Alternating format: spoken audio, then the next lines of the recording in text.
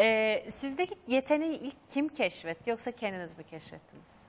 Şimdi hep klasiktir o. e, işte çocukluktan Aha. beri falan derler. Cidden ben e, mahallede yani ordudayken daha doğrusu ben köyde yetişmiş bir insanım. Ama e, yazın şeye gelirdik, köye çıkardık. Kışın ordu, orduda evimiz vardı. Orada e, benim babam çok iyi saz çalardı. Et, a- ailemin amca çocuklarım falan onlar da şarkılar, güzel sesleri vardı. İşte öyle öyle ben türküler okumaya başladım. Sonra bir samireler, e, lise lisede e, şeyler, konserler verdik falan. Öyle başladım. Sonra amcam, rahmetli amcam İstanbul'daydı. O zaman burada kalıyordu. Ya dedi buna bir ders verdirelim, şey yapalım. İşte Nida Bey'i buldular, Neriman Hanım'ı buldular falan. Öyle başladım. Genel... İlk- Hı. Pardon çok affedersin. Estağfurullah. Ee, ilk konserimi de Emek Sineması'nda e, vermiştik. Hatta Kennedy'yi vurdukları hı. geceydi o gece ya. Unutulmaz bir gece. Unutulmaz bir Sizin gece. için de unutulmaz bir gece olmuş. O dönemlerde hani sizin sesinizin iyi olduğunun keşfedilmesi, e, bu kadar fazla imkan yokken, e, eğitim en azından bu kadar daha kolay ulaşılabilir değilken sizin henüz ortaokulda konservatuvara gidebilmeniz, eğitimi alabilmeniz hakikaten Evet.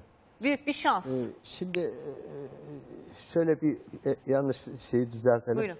Ee, e, konservatuardan değilim ben. Konservatuarda okumadım. E, pardon, radyoda sizin. Radyoda, ha, evet, radyo. Ama radyoda radyomuz, yarışmaya ra- girip, pardon. radyomuz e, Simge Hanım, inan ki bir konservatuar gibi. gibi, doğru. Hayır Bedi yönetkenler.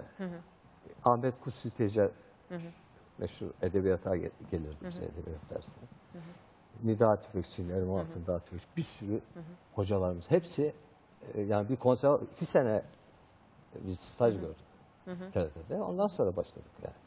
Radyo sınavında söylediğiniz şarkıyı hatırlıyor Hatırlıyorum. musunuz? Hangisiydi?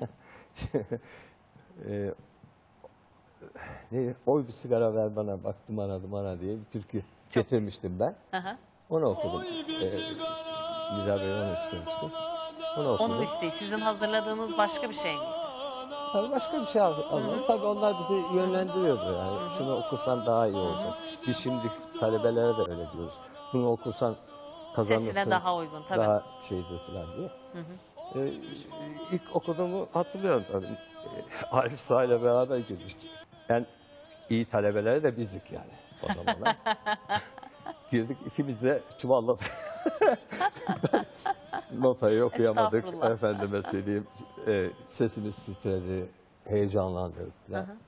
Ama tabii o hocalar bizi biliyordu yani en azından. Sizdeki yeteneği, potansiyeli Tabii, tabii, fark biliyor, edip fark belki o ediyorlar. anki hatalarınızı mazur Ama gördüler. Ben, ben hem staj, staj alıyordum hem de radyoda emisyonum vardı.